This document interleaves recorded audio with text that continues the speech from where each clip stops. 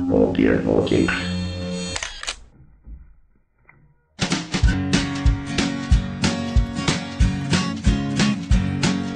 the Pope takes a poop and the President too, and the fancy grand banker in his three-piece suit. The big fat general and all of his troops. The truth of the matter is everybody poops.